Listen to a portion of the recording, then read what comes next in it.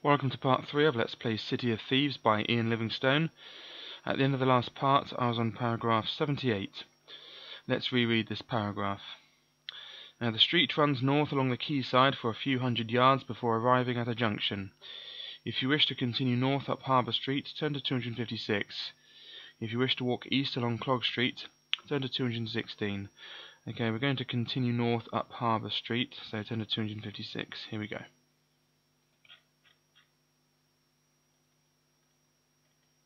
Here we are. Uh, the houses on the right hand side of the street are small and weather beaten. Um, old women sit outside on the on the front steps cleaning fish and mending fishing nets. They are large and jolly, talking to each other and frequently rolling about, bellowing with laughter. The fishermen do not appear to be at home. The street and the quayside come to an end at a great iron anchor. You turn round and walk back towards the junction. If you wish to stop to talk with the women, turn to 320. If you wish to ignore them and walk straight back to the junction, turn to 369. Okay, we're going to stop and talk with the women, so turn to 320.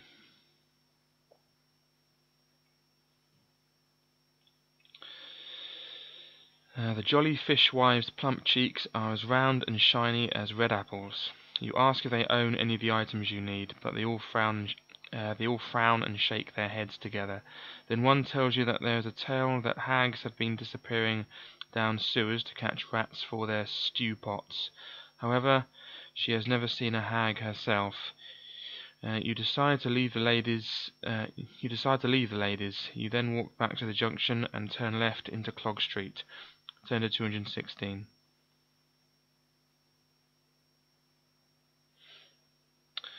Okay, we're just going to write down as well that hags have been going down the sewers.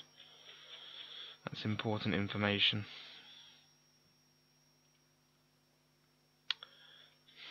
New line.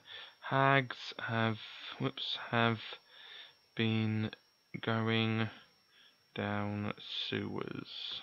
There we are. Okay, 216, here we go. Clog Street is very narrow and lined with terraced cottages and the occasional shop. To your left you see what looks like a small boy lying face down on the cobblestones groaning loudly. Uh, a hood is pulled over his head and you cannot see his face. A wooden hoop and stick lie by his side. If you wish to stop to help, turn to 72. If you would rather walk on, turn to 317. uh, we're going to stop to help. Excuse me.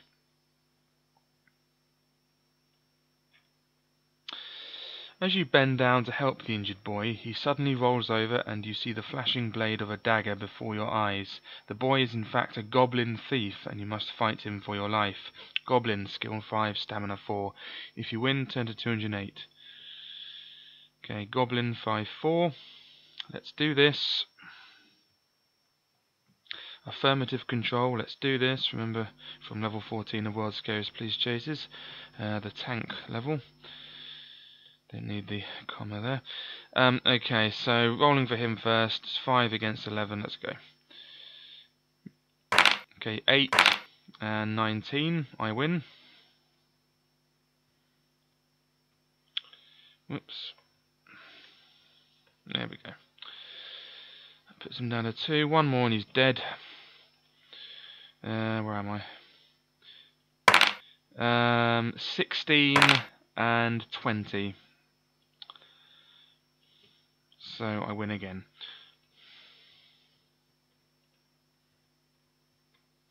And he's dead, that's that, good. Let's end the Mr. Goblin.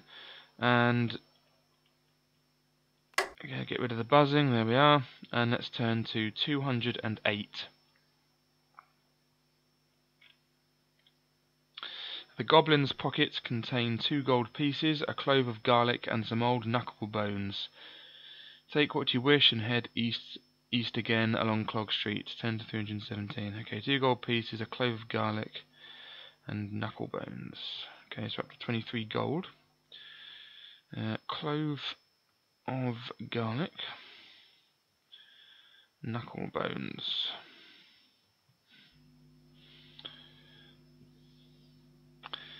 Uh, 10 to 317.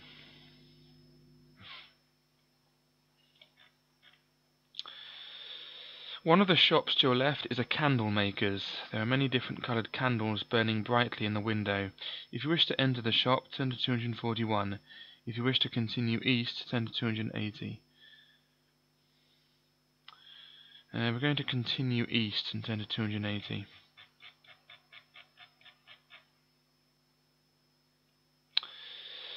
Further along the street on the left is another shop. A sign outside reads Ben Borryman, silversmith.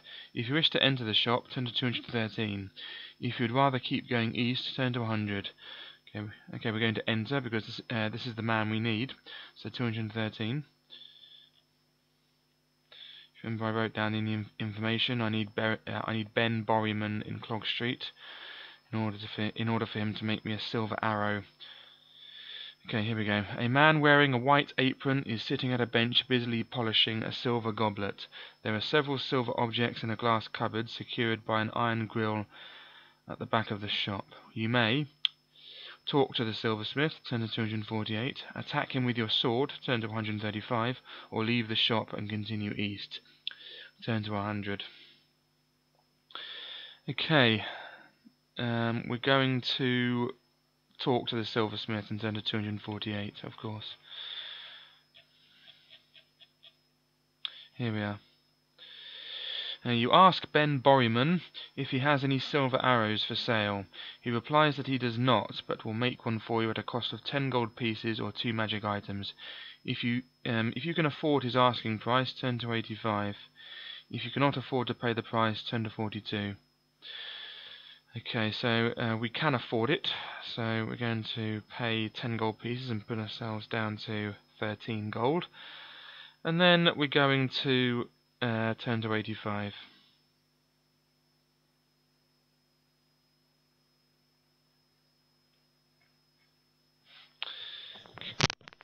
Whoops, uh, the headset just fell off my head. Uh, you pay the silversmith and wait patiently while he makes a silver arrow for you. Finally, he presents you with it and assures you that it will be completely accurate in flight. You thank him for his trouble and leave his shop. Outside, you set off east once again. Turn to 100. Okay, so we have the silver arrow, so we're going to put that in our possessions. Whoops, misspelled that. Okay, so turn to 100.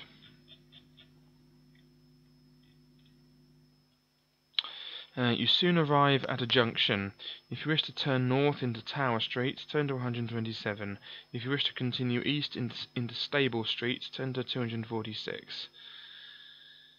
Okay, we're going to go to uh, at a Stable Street, so turn to 246.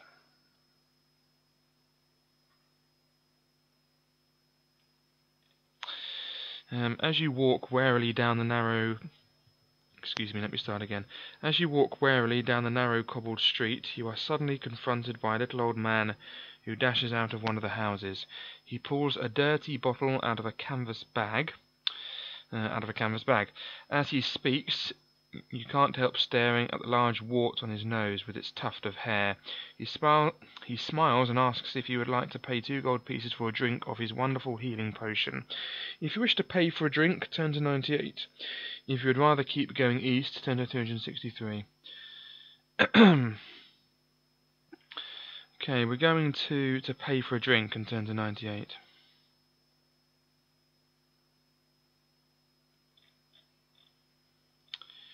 Here we are. Excuse me. Uh, you uncork the bottle with your teeth and take a long gulp of the liquid. Fortunately, the liquid is what the man claims it to be. Add three stamina points and one luck point. Is that necessary? Uh, no and no. Um, well refreshed, you set off east again, bidding the old man farewell. Turn to 363.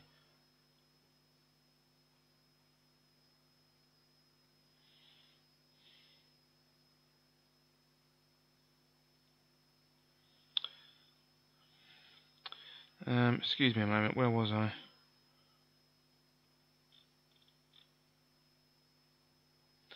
Okay, so we went to 246. Excuse me, I just need to check something. 246. Then we were here. Oh yeah, yeah. I thought we had. Yeah, uh, we need to pay two gold pieces for that. Yeah, so put that down to 11 now because we bought the drink, didn't we? Um, you know, go to 98. Even though we didn't need it, but, you know. It's done now. Um, anyway, 363. I forgot to pay them uh, the money. Um, in the middle of the street you see a large manhole cover. If you wish to lift the manhole cover to see where it leads to, um, or whither it leads, um, turn to 48. If you wish to keep walking east, turn to 205. Uh, we're going to lift the manhole cover because we need to get the hag's hair, whatever. So turn to 48.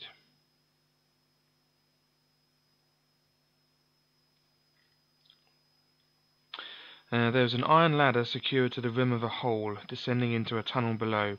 It is dark, and a very unpleasant smell rises up from below. If you wish to climb down the ladder, turn to 221. If you wish to replace the manhole cover and continue east, turn to 205. Uh, we're going to climb down the ladder, of course, so turn to 321.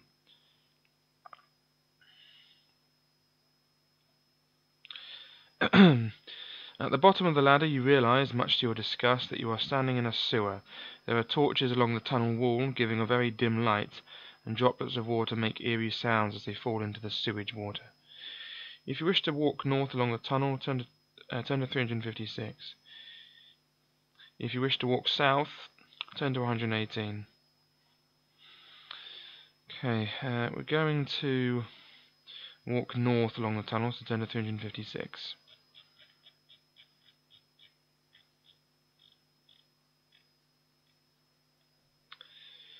Here we. Oh, lovely. Right, here we are. Ahead you hear the sound of squealing and frantic splashing. Long shadows are cast by moving objects coming towards you. Uh, then you see the sleek, glistening shapes of three giant rats only a few yards away from you. You draw your sword hastily and fight each of the rats in turn.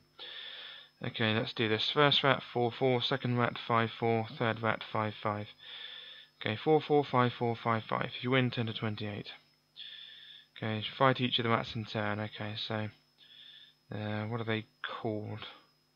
First rat, second rat, third rat. Okay.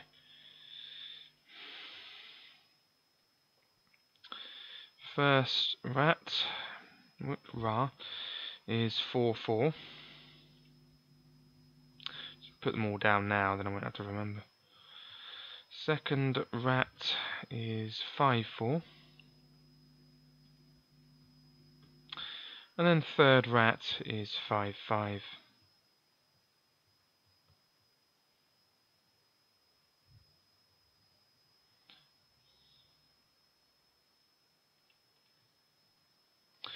Okay, let's do this. Okay, so uh, roll for him first, or the rat first, whatever. Okay, so 4 plus 12, that's 16 to 15. It actually beat me, can you believe? 16 16 to 15. It actually got a hit in. Oh dear. Alright, the rat hurt me, so we're down to 21 stamina now. Okay, and again, okay, he gets 5, that's 9, I get 10, that's 21. So 5 to 21. Puts him down to 2. And then 8 to 22. So 8 to 22. I win. He's dead. Good. Alright, next rat. Skill is 5 this time. Okay, so 12 to 19.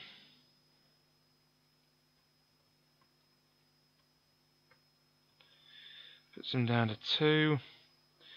And then uh, 9 to 21. That means he's dead. I put it in now. Right, he's dead. My third rat, skill 5. Uh, 9, that's uh, 14 to 21.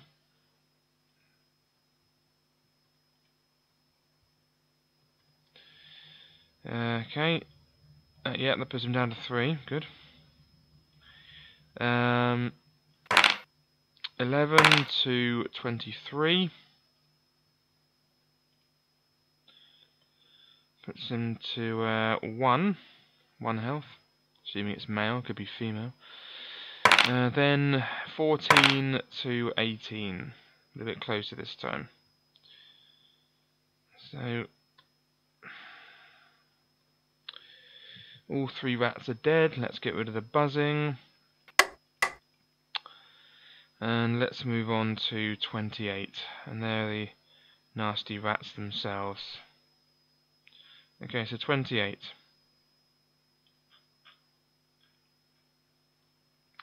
Here we are. While you were fighting the giant rats, you thought you saw someone or something skulking in the shadows ahead. If you wish to continue further north along the tunnel, turn to 265. If you would rather turn round and walk back to the entrance hole, turn to 104. Uh, we're going to continue further, of course, so 265.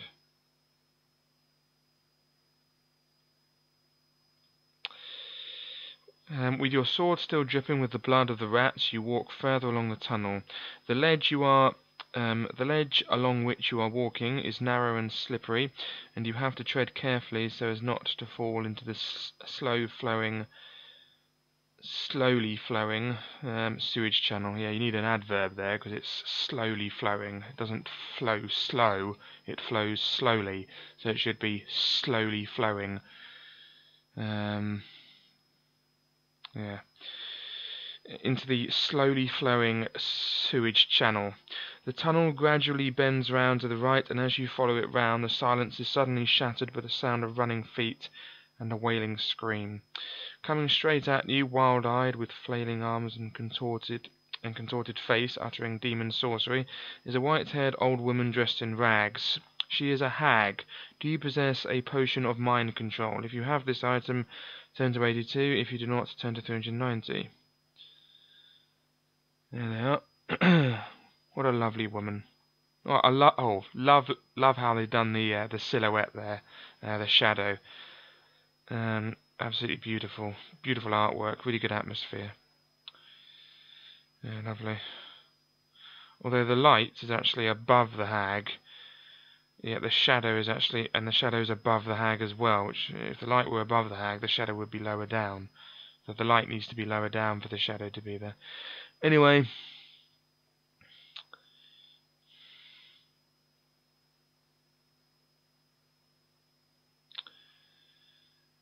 Um, okay, so we don't have a potion of mind control. So turn to 390. Or do we have a potion of mind control? no, I don't. Okay, so if you have this item, turn to 82. If not, turn to 390. Let's go.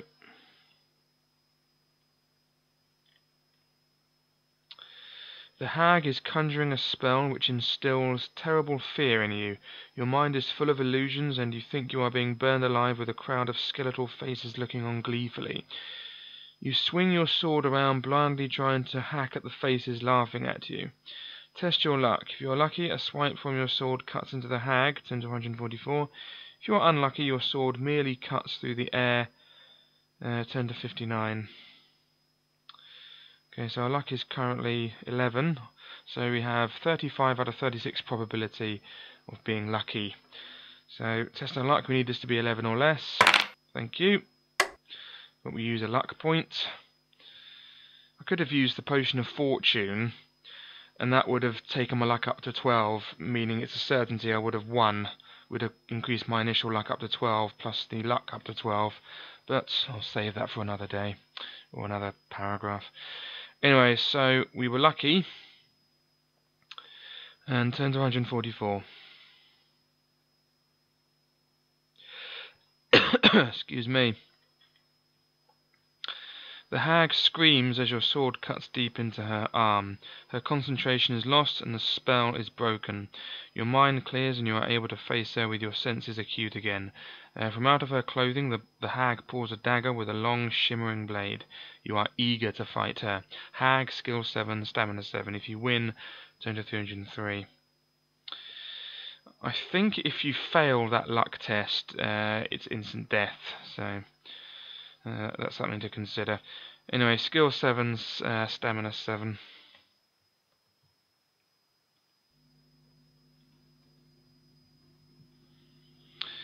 Um, okay, let's roll the dice. So, she has skill 7, let's go. That's 13 to 19. Whoops. Puts him down, puts her rather down to 5. 8 to 23. Puts her down to 3. So that was 8 to 23. Next. Uh, 17 to, to 21. That was a good one for her, but I got good as well. So I win. Uh, down to 1. And then hopefully the I hope the last one. Uh, 15 to 17. Yep, good. So she's dead. So 15 to 17. There we go. Jolly good. Okay, so the hag's dead. Let's get rid of the annoying buzzing, which you might not be able to hear. I don't know. Um, if you win, turn to 303. Let's go.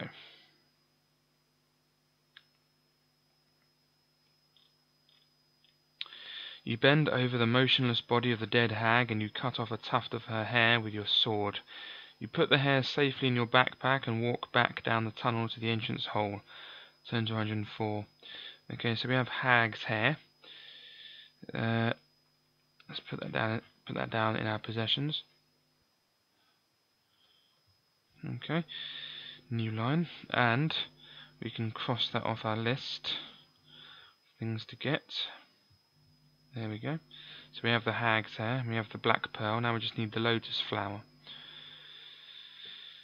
Okay, um, 104.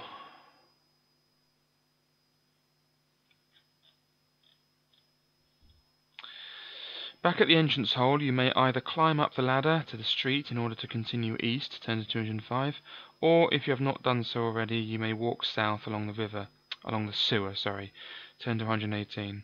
Now we're going to climb up and, and continue east. So 205. After replacing the manhole cover, you set off east again. Everything seems a little too quiet, and you begin to feel nervous. Ahead you see that Stable Street turns sharply to the left.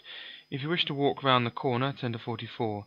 If you wish to walk back to the junction and turn right into Tower Street, turn to 127.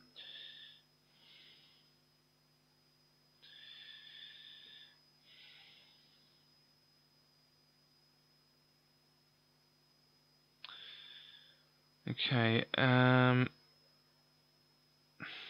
what we're going to do is, our gold is 11, so what we're going to do is we are going to uh, walk back to the junction and turn right into Tower Street, so turn to 127. Just ahead of you, three men are involved in a fight. The two younger men appear to be attacking an older man with iron bars. If you wish to help the old man, turn to 177. Um, if you wish, if you would rather avoid the bawling men and continue north, turn to 348. Okay, uh, we're going to avoid the bawling men and continue north and turn to 348. Tower Street makes a sharp turn to the right, going east between tall buildings. An iron bridge crosses overhead between two of the buildings and you see movement on it. Small cloaked people are carrying laden sacks between the buildings, apparently in a great hurry. If you wish to call out to them, turn to 251. If you wish to walk under the bridge and continue east, turn to 30. Uh, we're going to walk under the bridge and continue east, so turn to 30.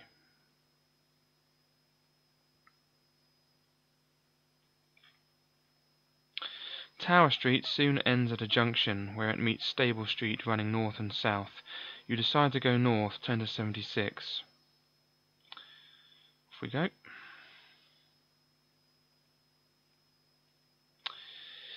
To your left you see a large wooden barn set back from the houses.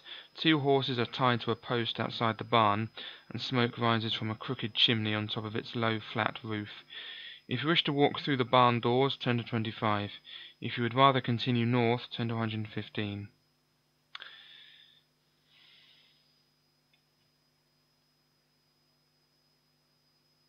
We're going to continue north and turn to 115.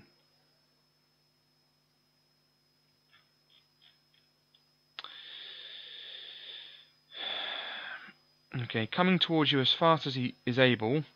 Eh, I'll start again. Coming towards you as fast as he is able is a man in tattered rags with a ball with a ball and chain attached to his leg. He, ex he is exhausted and collapses in your arms. His face is dirty and unshaven. Uh, with great difficulty he manages to speak, saying, Please cut me free. The town guards are not far behind me. I have been locked in a dungeon for two years, but managed to tunnel my way out. I was robbed and unable to pay my taxes, so Lord Azzur ordered uh, that I should be ordered that I be jailed for five years. Please help me. Um, farther up the street you hear shouting voices and then armed men come into view. If you want to cut through his chains with your sword, turn to 90. If you want to hand him over to the town guards, turn to 274. Um, we're going to hand him over to the town guards and turn to 274.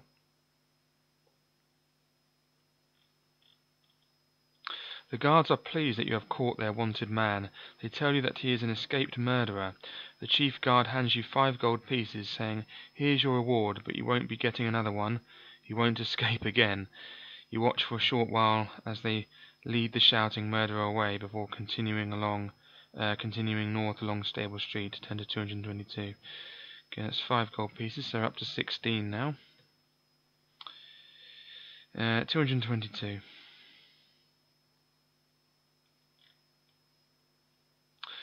On the right hand side the houses are separated from the street by a wooden fence with shrubs, trees, bushes and flowers behind it. There is a turnstile in the middle of the fence, by the side of which is a sign reading Public Gardens, entry fee one gold piece. If you wish to go into the gardens, turn to 370. If you would rather keep on walking, turn to 133.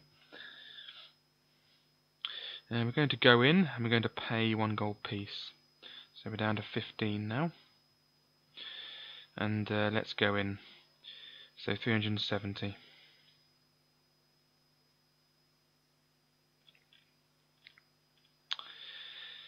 Uh, you, you place the coin in the slot and walk through the turnstile. Although the flowers and shrubs are not outstanding, you are nevertheless surprised that such a place exists in Port Blacksand. The gardens are not very large, extending back some 60 yards to where some houses back onto them. There are two paths to follow, one of which runs around the edge of the gardens and one that leads directly into the centre, where there is some topiary. Where there, there, where there is some topiary. Um, each shrub has been cut into the shape of an animal, and you, and you decide to take a closer look. The path leads into a small paved area surrounded by the animal-shaped shrubs. In the middle there is a stone plinth upon which sits a large earthen bowl containing lotus flowers. There is a painted sign which reads, Do not pick the flowers. The gardener is nowhere to be seen, and there is nobody else about. If you wish to risk picking one of the flowers, turn to 14. If you would rather leave the gardens and continue north, turn to 133.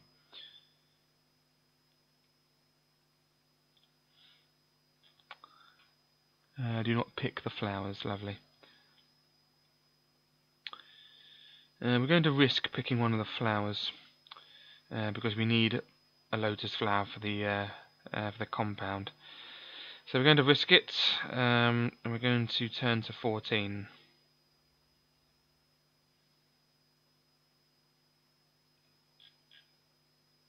As soon as you pluck one of the flowers, you hear the noise of rustling leaves. Three of the animal-shaped hedges have uprooted themselves and are closing in on you. Do you have a ring of fire? If you have, turn to 237. If not, turn to 191. Okay, do we have one?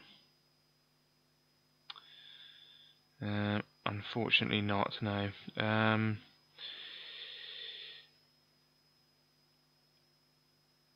okay, we're going to have to uh, turn to 191.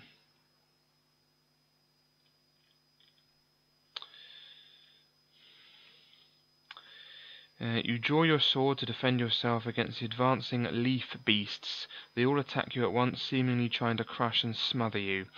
Uh, treat the leaf beasts as a single creature. Leaf beasts, skill 6, stamina 6. If you win, you run back to the turnstile, still clutching the lotus, and make your getaway into Stable Street. Turn to 133. Okay, 6 6 leaf beasts.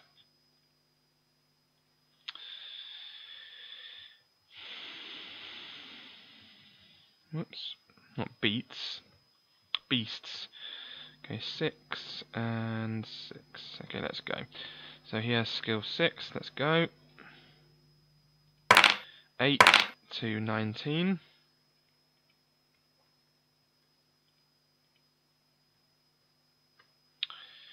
Four. Puts him down to four, or them down to four. Uh, 17 to 17, so even Stevens.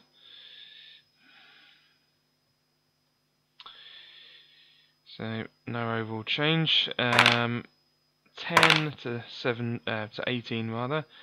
So 10 to 18, I win.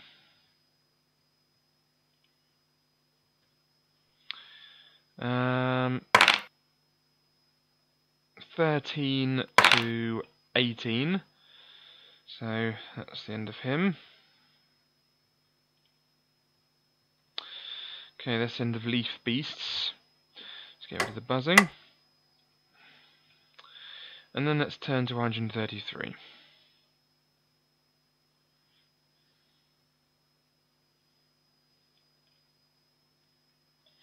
Now the street ends at a junction with Mill Street, which runs east and west along the city wall. Looking east, you see a group of town guards marching towards you, and, and you decide to walk quickly west along Mill Street.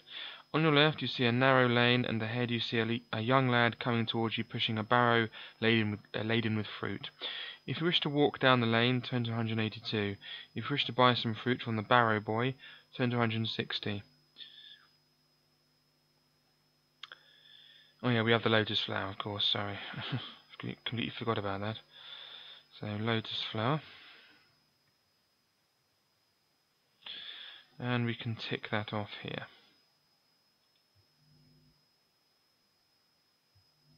No, it's not working. There we are. Okay, so that's all. That's the three things for the uh, compound. Anyway, um, we're going to walk down the lane, turn to 182.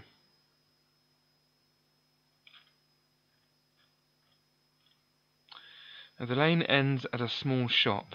On the glass paned door is painted a sign uh, Jimmy Quicktint, best tattooist in town. A tiny bell rings as you push the door open, and a fat man wearing purple silk smiles in greeting. You are surprised to see that his arms, hands, feet, and even his face are completely covered in colourful tattoos. Yeah, in in those days, very few people had tattoos. I mean, I mean, no one would have their face tattooed, and uh, you know when this book was published in the eighties. But nowadays, you see it all the time. I mean, yeah, people get. I'm just. I've never had any desire to get a tattoo. I mean, I would never want one. I'd never need one. If I if I had one, I would want it to go immediately. So I don't understand this huge obsession with tattoos. They're just very unpleasant. You know, I, I can understand the sort of the oh yeah it's my identity and everyone's trying to get their own identity but it's more of an identity and more of a statement these days not to have a tattoo so if even if I wanted to make a statement which I don't um, not having one is more of a statement these days than having one anyway um, you are surprised to see that his arms, hands, feet, and even his face are completely covered in colourful tattoos. He grins and says, Practice what you preach. You tell him that you require a yellow sun to be tattooed on your forehead with a white unicorn in the centre of it. He replies that it is a simple task, but it will cost you ten gold pieces. If you can afford his high price, turn to 279. If you cannot, turn to two, uh, 354.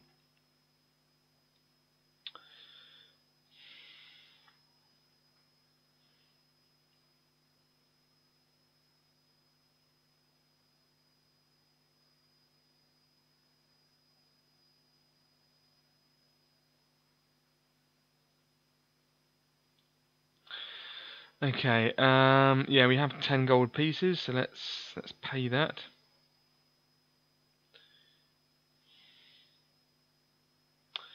Yep, so we're down to 5 gold pieces now. And uh, let's go to 279. There's a tattoo artist himself.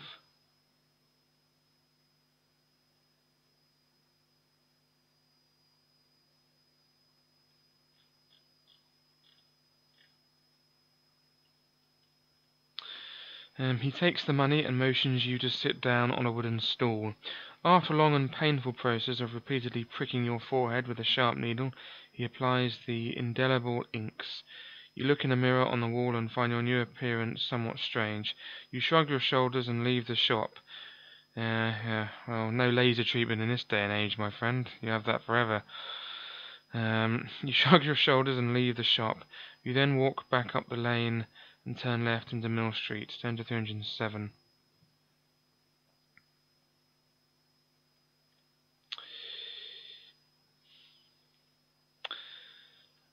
Okay, the last paragraph I think of this video. Walking towards you along the street are two huge guards wearing the black uniform of Lord Azzur. As they get closer you see that they are trolls, brutal mercenaries employed by Lord Azzur as Imperial elite guards.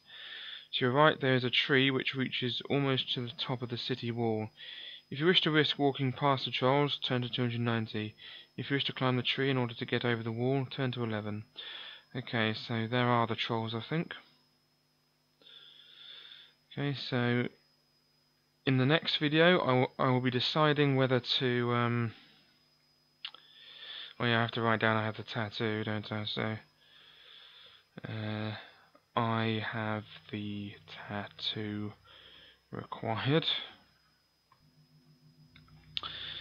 And then new line. Okay, so I'm going to put that the paragraph one is 307.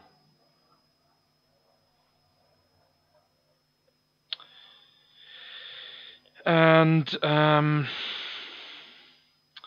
and I'll be deciding in the next part whether to risk walking past the trolls or climbing the tree. So thank you very much for watching, I hope you enjoyed this part. Uh, hope you can join me for the next part. Um, possibly before the next part, I'm going to make a start to uh, Croc on the PlayStation. I really want to do a normal console game again. I haven't done one for half a year. I've just been doing these books, and they I'm not being funny, but doing them does get a little bit long in the tooth. I need a bit of variety. I want to play a game. Um, that's going to be Croc on the uh, yeah. Uh, uh, it's going to be Croc Legend of the Gobbos on the PlayStation. Um, hopefully, try not to die, but it'll be more of a relaxed playthrough, a bit like my Spyro ones.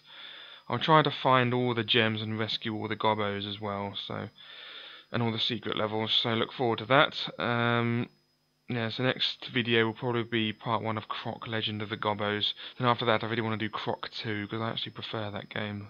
Um, that's one of my favourite PlayStation platformers. So thank you very much for watching, and goodbye.